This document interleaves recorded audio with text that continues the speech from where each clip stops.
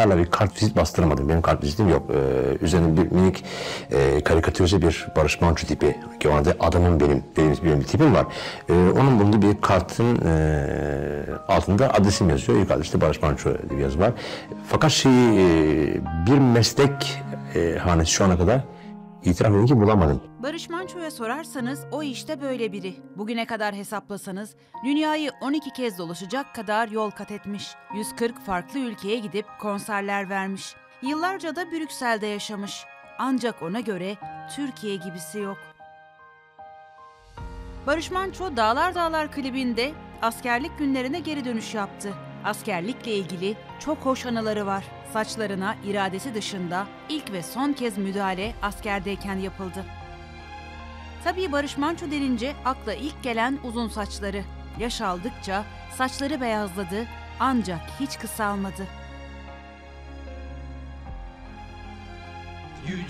Şu anda sokağa çıksak 60 milyon Türkiye sorsanız hiç kimse benim saçlarımla çok fazla ilgilenmiyor. Çünkü o kadar ortada, o kadar e, evilen bir şey ki tam Barış Manço zaten saçları olan bir insan.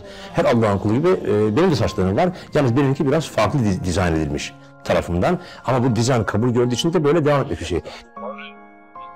Ancak son yıllarında Barış Manço ne çektiği 250'ye yakın programı ne de yaptığı 200'e yakın bestesiyle anıldı. Barış Manço deyince akıllara ilk olarak hep çocuklar geldi. Aslında herkes çocukları sever ama onunki biraz farklıydı. Barış Manço çocukları birbirine sevdirebilmek adına olmadık insanlara olmadık sorular soruyordu.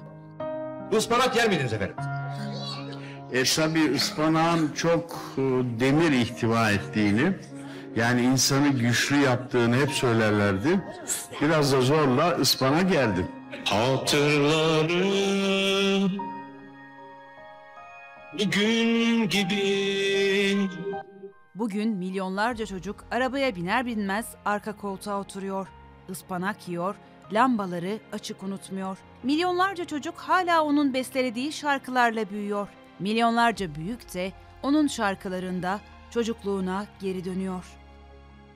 Çocuk olsaydınız ne yapardınız? Evet dinliyoruz. Ben de Barış abinizle beraber sizin yaptığınız gibi işte A, ondan sonra Y, ondan sonra Ö hepsini beraber okuyun. Ayı diye bağırırdım. Oku bakayım.